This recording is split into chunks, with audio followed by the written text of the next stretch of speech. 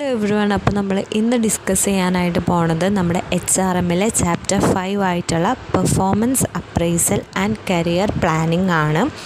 അപ്പോൾ അതിന് മുന്നേ നമ്മുടെ ചാനൽ ആദ്യമായിട്ട് ആരെങ്കിലും കാണുന്നുണ്ടെങ്കിൽ ഒന്ന് സബ്സ്ക്രൈബ് ചെയ്തേക്കുക അപ്പോൾ നമുക്ക് സ്റ്റാർട്ട് ചെയ്യാം. ആദ്യം തന്നെ എന്താണ് പെർഫോമൻസ് അപ്രൈസൽ എന്ന് നോക്കാം. പെർഫോമൻസ് അപ്രൈസൽ എന്ന് പറഞ്ഞാൽ ഇത്രയേ ഉള്ളൂ. അതായത് ഒരു ഓർഗനൈസേഷനിലെ എംപ്ലോയീനെ എംപ്ലോയറോ അല്ലെങ്കിൽ അവിടുത്തെ മാനേജ്മെന്റോ ഇവാലുവേറ്റ് ചെയ്യുന്ന ആ ഒരു പ്രോസസ്സിനെയാണ് നമ്മൾ പെർഫോമൻസ് അപ്രൈസൽ എന്ന് വിളിക്കുന്നത്. അപ്പോൾ എന്താണ് ഈ ഇവാലുവേറ്റ് ചെയ്യാന്ന് കൊണ്ട് ഉദ്ദേശിക്കണേ? അതായത് ഒരു എംപ്ലോയിക്ക് ഇപ്പോൾ അയാളുടേതായ ഒരുപാട് സ്കില്ലുകൾ ഉണ്ടാവും. അയാൾക്ക് നല്ല നോളജ് ഉണ്ടാവും അതുപോലെ തന്നെ അയാൾ ഒരുപാട് കോൺട്രിബ്യൂഷൻസ് ഓർഗനൈസേഷന് കൊടുത്തിട്ടുണ്ടാവും. അങ്ങനെ ഒരുപാട് കാര്യങ്ങൾ ഉണ്ടാവും ആ ഒരു ഇൻഫോർമേഷൻസ് അതായത് ആ ഒരു എംപ്ലോയിനെ കുറിച്ചുള്ള ഇൻഫോർമേഷൻസ് കളക്ട് ചെയ്യുക എംപ്ലോയറോ മാനേജ്മെന്റോ കളക്ട് ചെയ്യുന്നതിനെയാണ് പെർഫോമൻസ് അപ്രൈസൽ എന്ന് വിളിക്കുന്നത്. ഇത് മെയിനായിട്ട് ചെയ്യുന്നത് എന്തിനു വേണ്ടിയിട്ടാണ്? ഒന്നാമത്തെ കാര്യം ഓർഗനൈസേഷന്റെ ഒബ്ജക്റ്റീവ്സ് അച്ചീവ് ചെയ്യാനായിട്ടാണ്. കാരണം എന്താ വെച്ച് കഴിഞ്ഞ് കഴിഞ്ഞാൽ നല്ല എംപ്ലോയീസ് ഉണ്ടോ? അല്ലെങ്കിൽ എംപ്ലോയീസിന് ഇനി എന്തെങ്കിലും പ്രൊവൈഡ് ചെയ്യണോ? ട്രെയിനിങ് അങ്ങനെ എന്തെങ്കിലും പ്രൊവൈഡ് ചെയ്യണോ? ആ കാര്യങ്ങളൊക്കെ അറിയാനായിട്ടാണ് ആദ്യത്തെ യൂസ് പെർഫോമൻസ് അപ്രോസലിന്റെ രണ്ടാമത്തെ കാര്യം എന്ന് പറയുന്നത് ഇവർക്ക് ഇപ്പോൾ ചിലപ്പോൾ അവിടെ വർക്ക് ചെയ്യുന്ന ഒരു എംപ്ലോയിക്ക് നല്ല സ്കില്ലുള്ള എംപ്ലോയി ആണ് നന്നായി എഡ്യൂക്കേറ്റഡ് ആണ്. പക്ഷേ ഒരു ലോ പൊസിഷൻ അല്ലെങ്കിൽ ലോ ഇതിലാണ് ആളിരിക്കുന്നത് എന്ന് വിചാരിക്കുക. അപ്പോൾ ഇങ്ങനെ ഒരു പെർഫോമൻസ് അപ്രൈസൽ ചെയ്യുമ്പോൾ നമുക്ക് മനസ്സിലാവാണ് അയാൾ നല്ല ക്യാപ്പബിലിറ്റി ഉള്ള ഒരാളാണ്. കുറച്ചുകൂടി ഹയർ പൊസിഷൻ കൊടുത്തു കഴിഞ്ഞ് കഴിഞ്ഞാൽ അയാൾ അത് നന്നായി പെർഫോം ചെയ്തു. പെർഫോം ചെയ്യും എന്ന് നമുക്ക് ഉറപ്പ് വരുമ്പോൾ അപ്പോൾ നമ്മൾ എന്ത് കൊടുക്കും? പ്രൊമോഷൻ കൊടുക്കും. അല്ലെങ്കിൽ മറ്റൊരു സ്ഥലത്തേക്ക് ട്രാൻസ്ഫർ കൊടുക്കും. ഇനിയിപ്പോൾ കുറച്ച് സ്കിൽസ് കുറവുള്ള ആളാണെങ്കിൽ അത് ഡെവലപ്പ് ചെയ്യാൻ ട്രെയിനിങ് കൊടുക്കുക. ഇങ്ങനെയുള്ള കാര്യങ്ങൾക്ക് വേണ്ടിയിട്ടാണ് മെയിനായിട്ട് പെർഫോമൻസ് അപ്രൈസിൽ നടത്തുന്നത്. അല്ലെങ്കിൽ ഇപ്പോൾ പുതിയ എന്തെങ്കിലും പ്രൊജക്റ്റോ ടാസ്ക്കോ ഒക്കെ വന്നിട്ടുണ്ടെങ്കിൽ അത് കൊടുക്കാൻ നല്ലൊരു ടീമിനെ ഉണ്ടാക്കാൻ ഒക്കെ വേണ്ടിയിട്ടാണ് ഈ പെർഫോമൻസ് അപ്രൈസിൽ മെയിനായിട്ട് യൂസ് ചെയ്യണമെന്നാണ് പറയുന്നത് അപ്പോൾ എന്താണ് പെർഫോമൻസ് അപ്രൈസൽ എന്നൊരു ഐഡിയ കിട്ടിയില്ലേ? ഇനി നമുക്ക് അതിന്റെ ഒരു ഡെഫിനിഷൻ നോക്കാം. അപ്പോൾ എഡ്വിൻ ബി ഫ്ലിപ്പോ പറഞ്ഞിട്ടുള്ള ഒരു ഡെഫിനിഷനാണ് performance appraisal is a systematic and periodic rating of employees excellence in matters pretaining to his present job and his potential for a better job എന്താണ് എഡ്വിൻ പറയുന്നത്? അതായത് പെർഫോമൻസ് അപ്രൈസൽ എന്ന് പറഞ്ഞാൽ തികച്ചും systematic ആയിട്ടുള്ള ഒരു കാര്യമാണ്. പീരിയോഡിക്കായിട്ട് നമ്മൾ എന്ത് ചെയ്തുകൊണ്ടിരിക്കുകയാണ്? എംപ്ലോയിയുടെ എക്സലൻസ് റേറ്റ് ചെയ്തുകൊണ്ടിരിക്കുകയാണ്. അദ്ദേഹം ഇപ്പോൾ ചെയ്യുന്ന ജോബ് അല്ലെങ്കിൽ ഇനി ചെയ്യാൻ പോകുന്ന ജോബിന് വേണ്ടിയിട്ടാണ് ഈ ഒരു കാര്യം ചെയ്യുന്നത്. അതാണ് പെർഫോമൻസ് അപ്രൈസൽ എന്നാണ് എഡ്വിൻ പറഞ്ഞു വെച്ചേക്കുന്നത് അപ്പോൾ പെർഫോമൻസ് അപ്രൈസൽ എന്ന് പറഞ്ഞാൽ അത് ശരിക്കും പറഞ്ഞു കഴിഞ്ഞാൽ ഒരു ഫോർമൽ ആയിട്ടുള്ളൊരു കാര്യമാണ്. ഓർഗനൈസേഷനിൽ നടക്കുന്ന ഒരു ഫോർമൽ കാര്യമാണ് ഈ പെർഫോമൻസ് അപ്രൈസൽ എന്ന് പറയുന്നത്. പിന്നെ അത് ഗ്രൂപ്പായിട്ട് എംപ്ലോയീസിനെ ഒന്നല്ല അവർ നോക്കുക. ഓരോ ഇൻഡിപെൻഡന്റ് ആയിട്ട് ഉള്ള എംപ്ലോയീസിനെ ഇപ്പോൾ ഒരു വർക്കറിന്റെ തന്നെ അയാളുടെ സ്കിൽസ് എന്തൊക്കെയുണ്ട്? അയാളുടെ നോളജ് എന്തോരമുണ്ട്? അങ്ങനെ ഇൻഡിപെൻഡന്റ് ആയിട്ടായിരിക്കും നമ്മൾ ഇവാലുവേറ്റ് ചെയ്യുന്നുണ്ടാവുക. അതായത് ഒരു എംപ്ലോയിനെ എന്ത് ചെയ്യുക? ജഡ്ജ് ചെയ്യുക. അയാളുടെ എബിലിറ്റീനെ അതുപോലെ തന്നെ എന്തൊക്കെ കോൺട്രിബ്യൂഷൻസ് തന്നിട്ടുണ്ട്? അയാൾ എങ്ങനെ വർക്ക് പെർഫോം ചെയ്യണു ഇങ്ങനെയുള്ള കാര്യങ്ങളൊക്കെ ജഡ്ജ് ചെയ്യുന്നതാണ് പെർഫോമൻസ് അപ്രൈസിൽ എന്തിനു വേണ്ടിയിട്ടാണ് ഈ ഇൻഫോർമേഷൻ ഒക്കെ കളക്ട് ചെയ്യുന്നത്? അവർക്ക് ട്രാൻസ്ഫർ കൊടുക്കാൻ അതുപോലെ പ്രൊമോഷൻ കൊടുക്കാൻ നല്ല നല്ല സാലറി ഇൻസെന്റീവ്സ് ഒക്കെ കൂട്ടി കൊടുക്കാൻ വേണ്ടിയിട്ടാണ് ഈ ഒരു പെർഫോമൻസ് അപ്രൈസൽ നടത്തുന്നത്. അപ്പോൾ ഇത്രയേ ഉള്ളൂ പെർഫോമൻസ് അപ്രൈസൽ എന്ന് പറയുന്നത്. അടുത്ത നമുക്ക് എന്തൊക്കെ ഒബ്ജക്റ്റീവ്സ് ആണ് പെർഫോമൻസ് അപ്രൈസലിനുള്ളത് നോക്കാം. ഒബ്ജക്റ്റീവ്സ് ഓഫ് പെർഫോമൻസ് അപ്രൈസൽ ആദ്യത്തെ ഒബ്ജക്റ്റീവ് എന്താണ്?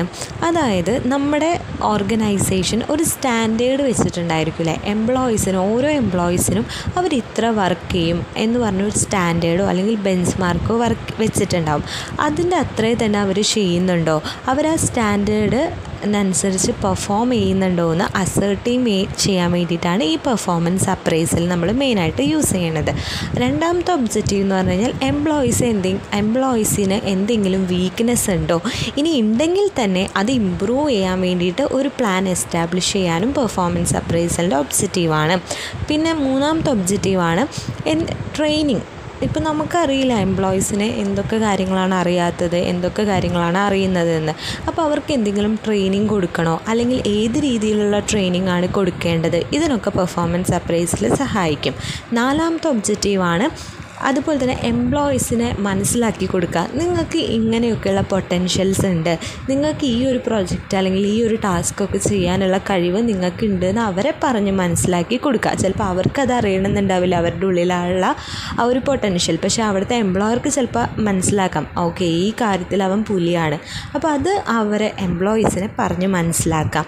പിന്നെ ഫിഫ്ത്ത് ഒബ്ജക്റ്റീവാണ് എംപ്ലോയീസിന് നല്ല റെമ്യൂണറേഷനും ഇൻസെന്റീവ്സൊക്കെ കൊടുത്ത് അവരെ ഹാപ്പിയാക്കാം അതായത് റിവാർഡ് എന്ത് ചെയ്യുക എംപ്ലോയീസിന് നല്ല ബെറ്റർ റെമ്യൂണറേഷനും ഇൻസെന്റീവ്സും പ്രൊവൈഡ് ചെയ്യുക അത് പറയുന്ന ഒബ്ജക്റ്റീവാണ് എന്തെങ്കിലും സാലറിയിൽ കൂട്ടി കൊടുക്കണോ അല്ലെങ്കിൽ പ്രൊമോഷൻസ് ഹയർ പൊസിഷനിലേക്ക് പ്രൊമോഷൻസ് നടത്തണോ എന്നൊക്കെ അറിയാൻ വേണ്ടിയിട്ട് സഹായിക്കും.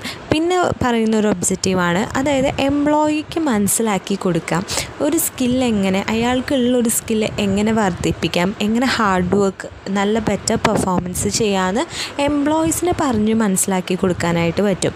അതുപോലെ തന്നെ ഇങ്ങനെ ഇൻഫോർമേഷൻസ് കളക്ട് ചെയ്യുന്നത് മാനേജീരിയൽ ഡിസിഷൻ മേക്കിങ്ങിനും സഹായിക്കും. നല്ല നല്ല തീരുമാനങ്ങൾ ഓർഗനൈസേഷനിൽ എടുക്കാനായിട്ടും ഈ ഒരു പെർഫോമൻസ് അപ്രൈസൽ സഹായിക്കും. അതുപോലെ തന്നെ നല്ലൊരു കമ്മ്യൂണിക്കേഷൻ ഓർഗനൈസേഷന്റെ ഉള്ളിൽ കൊണ്ടുവരാനായിട്ട് സാധിക്കും. പിന്നെ എംപ്ലോയീസിന്റെ ഇടയിൽ കോൺഫിഡൻസും മോട്ടിവേഷനും മൊറയിലും ഒക്കെ എൻഹാൻസ് ചെയ്യാനായിട്ട് എന്ത് സഹായിക്കും? ഈ ഒരു പെർഫോമൻസ് അപ്രൈസൽ സഹായിക്കും. അതുപോലെ തന്നെ നല്ല കരിയർ ഡെവലപ്മെന്റ് എംപ്ലോയീസിന് കൊടുക്കാനായിട്ട് കോൺട്രിബ്യൂട്ട് ചെയ്യാനും നമ്മുടെ ഈ ഒരു പെർഫോമൻസ് അപ്രൈസിൽ സഹായിക്കുന്നതാണ് പറയണത്. അപ്പോൾ ഇതൊക്കെയാണ് ഒബ്ജക്റ്റീവ്സ് എന്ന് പറയണത് പെർഫോമൻസ് അപ്രൈസലിന്റെ സിമ്പിളാണ് നമുക്ക് തന്നെ എഴുതാവുന്നതേ ഉള്ളൂ.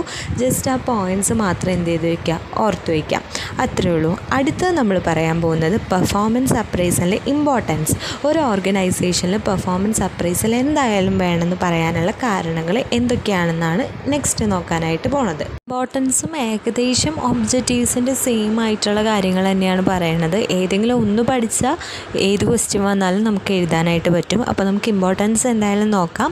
ഫസ്റ്റ് ഇമ്പോർട്ടൻസ് പറയുന്നത് അതെന്താണ്? എംപ്ലോയീസിനെ അവരുടെ പെർഫോമൻസ് ഇമ്പ്രൂവ് ചെയ്യാനായിട്ട് ഹെൽപ്പ് ചെയ്യണു. നന്നായി കുറച്ചുകൂടി റിസൾട്ട് അറ്റൈൻ ചെയ്യാനായിട്ട് ഹെൽപ്പ് ചെയ്യണു. ഇത് നമ്മൾ ഒബ്ജക്റ്റീവ്സിലും പറഞ്ഞതല്ലേ? അടുത്തത് എംപ്ലോയീസിന് പ്രൊമോഷൻ കിട്ടാനും അവരുടെ സാലറി ഇൻക്രീസ് ആവാനും ഹെൽപ്പ് ചെയ്യണു. ഇതും നമ്മൾ പറഞ്ഞതാണ്. അടുത്തതാണ് എന്താണ് ട്രെയിനിങ്ങിന്റെ ആവശ്യമുണ്ടോ? ഡെവലപ്മെന്റ് എംപ്ലോയീസിന് ഡെവലപ്മെന്റിനായിട്ട് ട്രെയിനിങ്ങിന് ആവശ്യമുണ്ടെങ്കിൽ അത് മാനേജ്മെന്റിനെ അറിയിക്കുന്നു. മാനേജ്മെന്റിനെ അറിയാൻ സഹായിക്കുന്നു. അടുത്തത് പറയണത് ഒരു ഓപ്പർച്യൂണിറ്റി കൊടുക്കുകയാണ് അതായത് സൂപ്പർവൈസേഴ്സിനും എംപ്ലോയീസിനും ഇൻട്രാക്ട് ചെയ്യാൻ അവരുടെ സ്ട്രെങ്ത്തുകളും വീക്ക്നെസ്സുകളും ഡിസ്കസ് ചെയ്യാനുള്ള ഒരു ഓപ്പർച്യൂണിറ്റി കൊടുക്കുന്നുണ്ടെന്നാണ് പറയണത്. അതുപോലെ തന്നെ അത് മാനേജ്മെന്റിനെ ഹെൽപ്പ് ചെയ്യും. എന്തിനു വേണ്ടിയിട്ട്? എപ്പോഴും റെഗുലർ ഫീഡ്ബാക്ക് കിട്ടാൻ. അതായത് എംപ്ലോയീസിൽ നിന്ന് വർക്ക് എൻവിറോൺമെന്റ് എങ്ങനെയുണ്ട്? പ്രോബ്ലംസ് റിലേറ്റഡ് വിത്ത് ജോബ്സ് ജോബ്സുമായിട്ട് എന്തെങ്കിലുമൊക്കെ പ്രോബ്ലംസ് ഉണ്ടോ?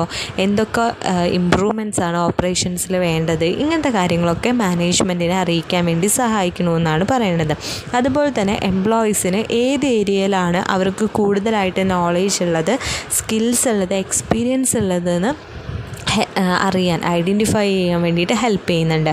അതുപോലെ തന്നെ എംപ്ലോയീസിന്റെ കരിയർ പ്ലാനിങ്ങിന് വേണ്ടിയിട്ട് അത് ഹെൽപ്പ് ചെയ്യുന്നുണ്ട്. അതുപോലെ തന്നെ employees accountable for responsibility assign to them അതായത് എന്തൊക്കെയാണോ എംപ്ലോയീസിന് അവരുടെ റെസ്പോൺസിബിലിറ്റീസ് ഉള്ളത് അത് ഒന്നുകൂടി എംപ്ലോയീസിനെ അറിയിക്കാനായിട്ട് അത് ഹെൽപ്പ് ചെയ്യുന്നുണ്ട്. അതുപോലെ തന്നെ അതൊരു മീൻസ് ഓഫ് കമ്മ്യൂണിക്കേഷനാണ് എംപ്ലോയീസും സൂപ്പർവൈസേഴ്സോ അല്ലെങ്കിൽ മാനേജ്മെന്റോ തമ്മിലുള്ള ഒരു കമ്മ്യൂണിക്കേഷൻ കൂടിയാണ് അത് എന്നാണ് പറയണത്. കാരണം എംപ്ലോയീസിന് മനസ്സിലാവും എന്താണ് എംപ്ലോയേഴ്സ് എംപ്ലോയീസിൽ നിന്ന് എക്സെപ്റ്റ് ചെയ്യുന്നത് എന്ന് അതായത് എത്രത്തോളം അവരുടെ പെർഫോമൻസ് കുറച്ചുകൂടി ഇമ്പ്രൂവ് ചെയ്യണമെന്ന് അവർക്ക് മനസ്സിലാക്കി കൊടുക്കാനായിട്ട് പറ്റും. അതുപോലെ തന്നെ ഈ ഒരു പെർഫോമൻസ് അപ്രോച്ചിൽ നിന്ന് കിട്ടിയിരിക്കുന്ന ആ ഡാറ്റ എച്ച് ആർ മാനേജ്മെന്റിന് ഡിസിഷൻ മേക്കിങ്ങിന് അതായത് പ്രൊമോഷനും സാലറി ഇൻസെന്റീവ്സും ആയിട്ടൊക്കെ റിലേറ്റ് ചെയ്ത കാര്യങ്ങൾക്ക് ഡിസിഷൻ മേക്കിങ്ങിനും അത് സഹായിക്കും എന്നാണ് പറയുന്നത് അപ്പോൾ ഇത്രയുള്ള ഇമ്പോർട്ടൻസും ഇമ്പോർട്ടൻസും ഒബ്ജക്റ്റീവ്സിന്റെ ഒക്കെ ഏകദേശം സെയിം തന്നെയാണ്. ഏതെങ്കിലും ഒന്ന് പഠിച്ചാൽ രണ്ടും നമുക്ക് എഴുതാനായിട്ട് പറ്റും. അപ്പോൾ നമ്മൾ ഇന്ന് എന്തൊക്കെ പറഞ്ഞു? പെർഫോമൻസ് അപ്രൈസൽ എന്താണെന്ന് പറഞ്ഞു. അതിന്റെ ഒരു ഡെഫിനിഷൻ പറഞ്ഞു. ഒബ്ജക്റ്റീവ്സ് പറഞ്ഞു. ഇമ്പോർട്ടൻസ് പറഞ്ഞു. അപ്പോൾ ഇത്ര നിങ്ങൾക്ക് എല്ലാവർക്കും മനസ്സിലായി എന്ന് വിചാരിക്കുന്നു. ഈ ഒരു വീഡിയോ യൂസ്ഫുൾ ആയിട്ടുണ്ടെങ്കിൽ ഒന്ന് ലൈക്ക് ചെയ്യുക ഷെയർ ചെയ്യുക അതുപോലെ തന്നെ സബ്സ്ക്രൈബ് കൂടി ചെയ്യുക. എന്തെങ്കിലും ഡൗട്ടോ സജഷൻസോ ഉണ്ടെങ്കിൽ കമന്റ് ബോക്സിൽ കമന്റും ചെയ്യാം.